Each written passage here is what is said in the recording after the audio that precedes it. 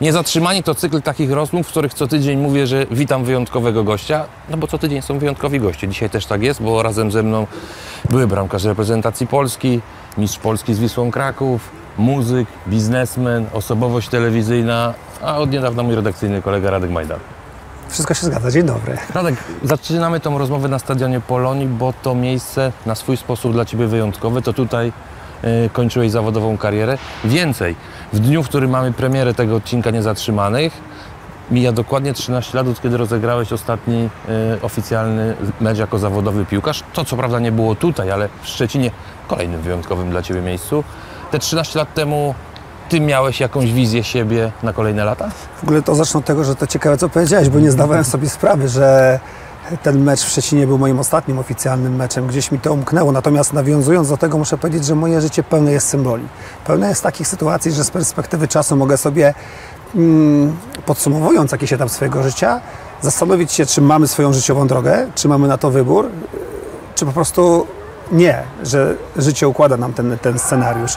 Yy, wiesz co, okres, kiedy kończysz karierę, to co mówisz, te 13 lat e, wcześniej, kiedy, kiedy, kiedy moja kariera dobiegała końcowi, e, ja można powiedzieć do tego przygotowywałem gdzieś mentalnie w głowie. Z jednej strony szukałem sobie e, sposobu na siebie, co będę robił po zakończeniu kariery, bo myślę, że każdy już powiedzmy taki no, sportowiec, który dochodzi do tego wieku, że masz świadomość, że to jest koniec, zaczynasz się na tym bardzo poważnie zastanawiać, ale najbardziej bałem się tego, że nie znajdę już tej pozytywnej energii. Mnie że... się wydaje, że nie każdy. Nie, ale to dobrze, to, to inaczej. Każdy rozsądny, tak? Każdy, kto ma świadomość mijającego czasu, że nic nie trwa wiecznie. W moim przypadku rzeczywiście tak było, ale ja bardziej mentalnie się nastawiałem na to, żeby nie, żebym się nie zderzył ze ścianą tego następnego dnia, kiedy wiesz, odstawiasz buty, na, to się mówi do szafki, rękawice, wieszasz i nagle nie masz co ze sobą zrobić. Bałem się tego, że, że nie będę czerpał prawdziwej przyjemności życia, bo nie ma co ukrywać. No my jako sportowcy czerpiemy z tego, bo e, tak naprawdę realizujemy swoją młodzieńczą fa- e, pasję. Na początku Grasz jesteśmy... piłkę, dobrze ci płacą, ludzie biją brawo, no czasami krytykują, różnie Wiadomo, bywa, ale są- generalnie, generalnie ja nie chcę powiedzieć, że to jest łatwe życie, bo, bo ja sobie zdaję z tego, że jest presja, że są oczekiwania, że trzeba się mierzyć z różnymi y, przeciwnościami, natomiast y, kiedy spotykam się w tym cyklu ze sportowcami różnych dyscyplin, którzy skończyli karierę, to często wraca taki wątek, że z perspektywy czasu, po latach, jak sobie patrzą na siebie wstecz, to to życie zawodowego sportowca było w pewien sposób łatwe, bo było poukładane. Tak. Koszulka uszykowana, y, plan rozpisany, wiesz co masz robić, to jest twoje zadanie, reszta cię nie interesuje. A później kończysz, budzisz się i... A właściwie co mam robić? No i gdzie mam iść, tak, co mam załatwić, to prawda, wiesz, jeżeli grasz, y, no ja miałem też okazję grać w klubie za granicą, tam nawet dochodzi do tego, że i samochód ci zadają, i mieszkanie dostajesz, wszystko. Y, Będąc zawodnikiem y, klubów ekstraklasy, do lekarza nawet nie możesz chodzić swojego, no bo wszystko musi być pod, pod kontrolą lekarza klubowego, więc można powiedzieć, że jesteś wyłączony z takiego normalnego życia w pełnym tego słowa znaczeniu, tylko jesteś jakimś, pod jakimś kloszem, jesteś pod ochroną, jesteś osobą, która ma kierownika drużyny, która ma lekarza, masażystę, oczywiście trenera, e, dyrektora sportowego i jeszcze swojego menadżera dzisiaj, tak? Ja za moich czasów m, funkcji menadżera, taki osobisty, ten zawód nie funkcjonował. Natomiast... Które co do zasady miałeś być dobry tu. Dokładnie, miałeś się koncentrować nad tym tu i teraz, boisko, trening i, i, i, to, i, i nad tym, żeby budować swoją formę. Co powodowało, że po zakończeniu tego, kiedy wszystko ci to odbierali, to można po- porównać trochę do, do korporacji, kiedy masz samochód, telefon i tak dalej, i nagle wychodzisz z kartonem z biura, przechodząc do normalnego życia z obawą i co teraz? I sportowcy bardzo często mają taką obawę. W moim przypadku było to bardzo be- bezbolesne przejście. Ja myślę, że sportowo, fizycznie dałem jeszcze radę. Dwa lata e, kontynuować karierę. Skończyłem w wieku 38 lat. Dla bramkarza to jest taki wiek, że jeszcze spokojnie można, myślę, do 40 na poziomie ekstraklasy funkcjonować. Natomiast ja dostałem propozycję e, od e, prezesa Wojciechowskiego, żebym oczywiście został w Polonii jako dyrektor sportowy, żebym pracował w tym samym klubie, z tymi samymi ludźmi, w tym samym mieście, co Ty było byłeś dla mnie... dyrektorem sportowym, rzecznikiem, trenerem Wiesz co, bramkarzy. Właśnie zawsze, słuchaj, z tym rzecznikiem to, to nie tak do końca. Nienawidziłem tego zajęcia. Zastępowałem rzecznika, ponieważ akurat był No, funkcję wakat. pełniłeś. Funkt, ale to było chyba, nie wiem, niespełna dwa miesiące, yy, jako że nasz rzecznik się rozchorował, później szukaliśmy kolejnego, no i prezes Wojciechowski powiedział, słuchaj Radek, no ty masz kontakt z mediami naj, najcięższy, to może ty się tym zajmiesz. Nie cierpiałem tego zajęcia.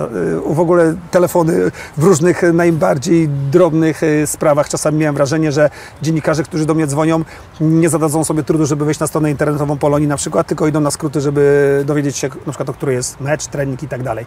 Natomiast yy, to było zdecydowanie coś, co, co, co, co sprawiało mi najmniej przyjemności. Natomiast o dziwo największą przyjemność czerpałem z bycia trenerem bramkarzy.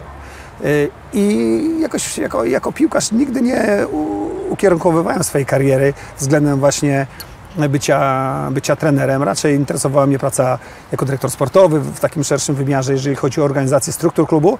Okazało się, że zobacz, po raz kolejny coś, co jest takie nie, nie, nie, nie, niespodziewaną koleją rzeczy, spowodowało mi naprawdę olbrzymią przyjemność. Miałeś swoje zdanie jako trener bramkarzy? Tak, nawet y, zawsze były takie relacje i podział obowiązków, że to ja decydowałem, który z bramkarzy wyjdzie w pierwszej jedenastce. Taki był układ między pierwszym trenerem a mną, który przychodził do mnie i pytał się Radek, który z chłopaków dzisiaj, który jest w formie, jak, jak, jak wyglądają na treningu, no bo trener bramkarzy to jest bardzo specyficzna praca. Jesteś bardziej chyba starszym bratem, przyjacielem, oczywiście trenerem również, no, bo dbasz o ich formę, natomiast na bazie swoich przeżyć. Bramkarz to jest bardzo ciężka pozycja, naprawdę. To jest, zderzasz się niejednokrotnie to, co powiedziałeś, z presją, z oczekiwaniami. Yy, czasami masz świadomość, że się męczysz, ale, ale tylko ty o tym wiesz, bo nie chcesz tego, że tak powiem, pokazać na zewnątrz, więc ty wszystko, patrząc na wyraz twarzy twojego bramkarza, którego trenujesz, myślisz sobie, że ty wiesz, a on nawet nie wie, że ja wiem, co on, co on czuje w danym momencie. I jest to naprawdę praca, która daje niewiarygodną dużo przyjemności, satysfakcji, ale też jest bardzo dużą odpowiedzialnością, bo kiedy siadasz na tej ławce i widzisz chłopaka, którego trenujesz, yy, który wiesz, jak ciężko pracuje na to, żeby wyjść, yy, zagrać mecz i popełnia jakiś błąd, to denerwujesz się za niego i, i, i zawsze... No, a w Polonii presja była, bo prezes Wojciechowski była. był wymagający. Był wymagający, był I, i są różne opinie, są różne zdania na temat prezesa Wojciechowskiego. Ja muszę powiedzieć, że nie mogę powiedzieć na jego temat złego słowa. Naprawdę nasze relacje były i są do dzisiaj bardzo, yy, bardzo dobre i, i to on mi, że tak powiem, otworzył jakąś nową drogę, bo, bo to też jest ciekawe. Moje przyjście do Polonii było bardzo nieoczywiste. Ja byłem byłym reprezentantem Polski, zawodnikiem klubów ekstraklasy, a Polonia wtedy była w tej tak zwanej pierwszej lidze, czyli nie w ekstraklasie. Czyli w drugiej. W drugiej, dokładnie. Więc pojawiłem się tutaj bardziej z powodów... Yy, prywatnych, jako że przeprowadziłem się do Warszawy, żeby gdzieś tam yy, powiedzmy, że poukładać swoje życie prywatne, a, a, że szukałem pracy, można powiedzieć, wtedy okazało się, że, że Polonia no, nie, wiem, szukała, nie wiem, czy bramkarzy, ale, ale, ale wtedy, kiedy, kiedy gdzieś się spotkaliśmy yy, z menadżerem klubu i z trenerem Foralnikiem, yy, wyszło, że że życzą sobie, żebym grał w Polonii. I wtedy otworzył się nowy etap mojego życia i jeszcze wtedy nie zdawałem sobie sprawy, że to jest chyba e, tak naprawdę jeden z najpoważniejszych etapów, który otworzy mi drzwi na to wszystko, co robiłem po e, karierze sportowej, czy wracając do tego, o czym, o czym mówiłeś, e, bo gdybym nie znalazł się w Poli Warszawa, nie mieszkałbym w Warszawie, myślę, że no gdzieś tam bym się być może błąkał po Polsce, być może byłbym dzisiaj trenerem bramkarzy w szczecińskiej Pogoni, bo jestem ze Szczecina, natomiast nie robiłbym wszystkiego tego, co robię, a na pewno nie bylibyśmy redakcyjnymi kolegami. No właśnie, a... bo patrz, ty przez te lata właściwie przeistoczyłeś się okej, okay, na Wikipedii trzeba osobowość medialna, ale właściwie dzisiaj w pewnym sensie jesteś dziennikarzem.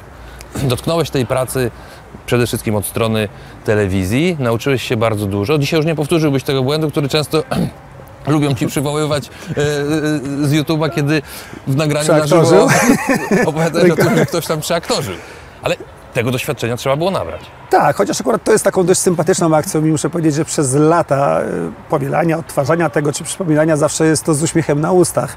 Chociaż tak, oczywiście uczysz się całe życie, a już na pewno uczysz się pracy dziennikarskiej. Dzisiaj można powiedzieć, przychodząc do netu, przeglądu sportowego, to jest taki mój kolejny bardzo poważny krok na drodze rozwoju y, właśnie w tej... Mm, drodze dziennikarstwa sportowego, tak? Bo niewątpliwie to już jest bardziej poważna praca, tu już nie jesteś tylko ekspertem, ale już też przechodzisz y, w kierunku kreowania pewnych rzeczy, właśnie tych stricte y, dziennikarskich, więc no, duże wyzwanie, ale jeszcze większa przyjemność. I, i, rzeczywiście, i to, że znalazłem się tutaj w Polonii, to, że zamieszkałem w Warszawie, to, że um, swoje życie związałem z tym miastem, które otworzyło mi um, dużo więcej możliwości niż jakiekolwiek inne miejsce w naszym kraju, myślę, że no, miało wpływ na to, że spokojnie mogłem E, że tak powiem, powiesić te buty na kołku i schować te rękawice, bo wiedziałem, że mam, e, tak jak powiedziałem, pracę w klubie, w którym kończyłem, ale też otwierają mi się jeszcze inne możliwości. Zresztą generalnie nigdy nie stroniłem od, od mediów. Nie wiem, czy to było nieświadome.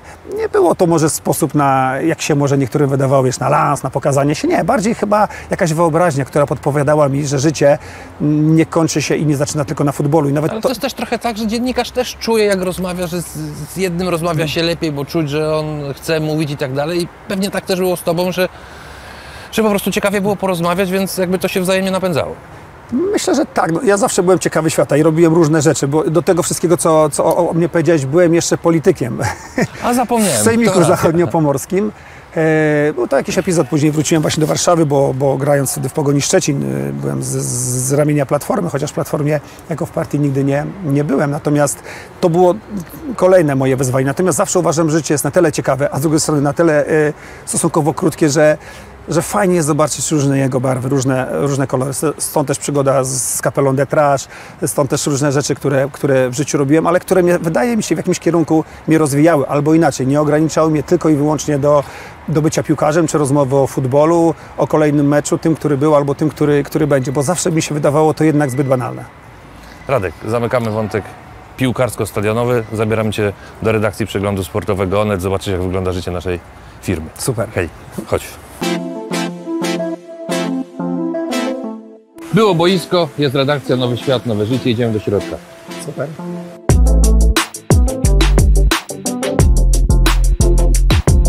Radek, mieliśmy być w redakcji, jesteśmy w naszym studio wideo. To jest jedno z dwóch najważniejszych miejsc dla e, redakcji. To jest miejsce, w którym będziesz często bywał. Ty lubisz zmiany?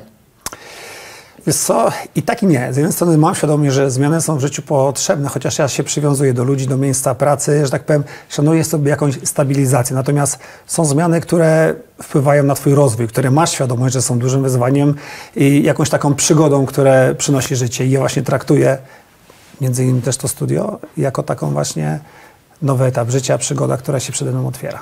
Bo to jest tak, że w pewnym sensie wychodzisz trochę ze strefy komfortu. Do tej pory byłeś osobowością telewizyjną, to nie ulega wątpliwości. Bardzo często widzieliśmy Cię na e, ekranie telewizyjnym, ale występowałeś w roli eksperta, to znaczy ktoś Ciebie prowadził, ktoś Ciebie o coś pytał, Ty mówiłeś, co myślisz. Teraz będzie się zdarzało, że będzie trochę inaczej, to Ty będziesz prowadził, to Ty będziesz pytał, to Ty będziesz moderował. Tak, i strefa komfortu to jest bardzo dobre określenie, bo sam myśląc o propozycji Zonet Przegląd, o tym, co do tej pory robiłem, to, to też, że tak powiem, użyłem w stosunku do, do tej sytuacji tego określenia gdzieś tam w swojej głowie, że my musimy być w stanie wychodzić z tej strefy komfortu. Ja miałem fajną pracę, w której się bardzo dobrze czułem, realizowałem się i tak dalej. Natomiast yy, z jednej strony poczułem się doceniony, bardzo podobała mi się rozmowa tutaj z, z ważnymi osobami z redakcji, yy, z którymi rozmawialiśmy o, o, o mojej, że tak powiem, zawodowej przyszłości, co miało też duży wpływ na, na moją decyzję, więc cieszę, cieszę się, że tu jestem, ale mam świadomość, że na pewno to będzie wyzwanie, że będzie to coś nowego. To, ta kreacja, o której mówisz, jest to też e, inny sposób prowadzenia pracy. Natomiast e, muszę powiedzieć, że obserwowałem Łukasza Kadziewicza ostatnimi czasy i muszę powiedzieć, że przetarł szlak, radzi sobie świetnie. Jako były sportowiec, który odnalazł się bardzo dobrze po tej drugiej stronie, bo to nie jest takie proste. Łatwiej jest odpowiadać na pytania, niż wykreować program i je zadawać. Mam to szczęście, że w cyklu Niezatrzymani goszczę drugiego redakcyjnego kolegę. To tak swoją drogą, bo w pierwszym sezonie e, był z nami Łukasz. I rzeczywiście Łukasz to jest taki przykład, który pokazuje, że e, można się fajnie w mediach rozwijać. Rozumiem, że to jest ta ścieżka, która Ciebie interesuje. Tak, zdecydowanie. Wiesz, generalnie zawsze realizując pewnie, za- pewne założenia zawodowe, e, idąc e, za tym, żeby, że tak powiem, nie rozczarować sam siebie przede wszystkim, ale ludzi, którzy, że tak powiem, mi zaufali, gdzieś tam bazuje na dobrym przygotowaniu, czyli na, na czymś, co, co jest poświęceniem czasu dla tego, co trzeba zrobić. Ja myślę, że, że oprócz e, jakiejś takiej znajomości telewizji, ale przechodząc na drugą stronę, jest to, jest to, jest to bardzo mocno z tym, z tym związane. Nie możesz nie być przygotowany, nie możesz nie zadać tematu, a oprócz tego no, musisz też czuć flow z rozmówcą i to, co powiedziałeś. Myślę, że Łukasz jest tego bardzo dobrym przykładem, bo sportowcy są to ludzie, którzy są zorganizowani inaczej. Tak? Y, Jest to troszeczkę taka bardziej artystyczna, bym powiedział, y, praca, jeżeli chodzi o podejście do, do zawodu, a tutaj już musi być bardziej poukładana, więc też nie każdy, myślę, może sobie z tym poradzić, a jeżeli masz sobie z tym poradzić, no też musisz mieć świadomość no, przygotowania i wykonanej pracy, żeby się właśnie do tych poszczególnych etapów właśnie tego nowego zajęcia przygotować. Ja nie chcę cię straszyć, ale dojdą też mnie nie straszyć. dojdą też korpo spotkania, maile, inne Nie, rzeczy. My to, tutaj się- bardzo, my to tutaj bardzo lubimy. Tego się najbardziej boję. Ostatnio o tym rozmawialiśmy. Laptop, telefon i tak dalej. Niezliczona ilość maili. Nie ukrywam, że to będzie chyba ten etap, do którego naj, najciężej i najdłużej będę się przystosowywał, ale Damy radę. myślę, że damy radę. Ja już tak powoli, powoli zbliżając się do końca, pół zawodowo, pół prywatnie chciałbym Cię zapytać. Budzisz się rano i myślisz sobie, niech to wszystko się nie, nie kończy, niech to wszystko się nie popsuje, no bo tak, nowa, mam nadzieję, fajna praca, poukładane życie, wychowujecie razem e, z żoną dzieci, doczekałeś się e, swojego syna, bajka. Tak, tak. Jeżeli miałem powiedzieć, kim dzisiaj jestem, jak się czuję, no to czuję się, nie wiem, szczęśliwym mężem i ojcem, ale też osobą, która realizuje się zawodowo, co w moim przypadku jest bardzo ważne, bo zawsze chciałem mieć ten balans w życiu. Myślę, że jeżeli y, masz szczęśliwą rodzinę, do tego pracę, która sprawia ci przyjemność, w której się realizujesz, to jesteś lepszym ojcem, mężem, ale też w pracy lepiej, że tak powiem, jesteś w stanie i więcej z siebie dać, ale też masz balans w domu, kiedy cię to resetuje, więc akurat w moim przypadku te dwie gałęzie, że tak powiem, sp- spójne razem są bardzo ważne. Sam jestem ojcem, powiem Ci, czasami jest ciężko pogodzić pracę. Wiesz co, dzisiaj obudziłem się o 6.15, bo Heniu mnie już tam szturchał, żebyśmy oglądali razem bajki, więc doskonale to znam. Nawet później próbowałem sobie to ułożyć. Mówię, dobra, wtedy, kiedy zaczynasz program o rannych godzinach, no więc zdarza się, że trzeba będzie wypić dwie kawy. Radek, dziękuję Ci bardzo. Dziękuję. Życzę Ci, żeby te najbliższe lata w pracy tutaj razem z nami były jak najbardziej udane i żeby ta bajka trwała. Dzięki wielkie raz jeszcze. Dziękuję.